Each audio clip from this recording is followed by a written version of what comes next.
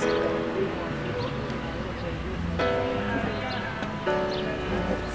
sé. Nada, pues darle la bienvenida. Para, primero darle el saludo de todo el equipo el misionero.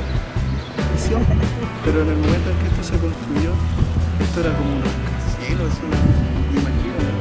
Imagínense, hace 100 años. Aquí adelante. ¿Qué pasó con los pueblos originarios? Acá tienen que haber habido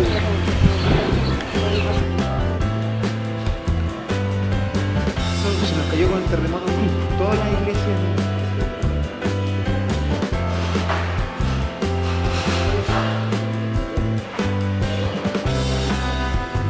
Eh, la iglesia como patrimonio mundial, un poco la comunidad tomó como distancia de su, de su propia iglesia. Pasó un poco eso, ¿no? Que no podían intervenir mucho.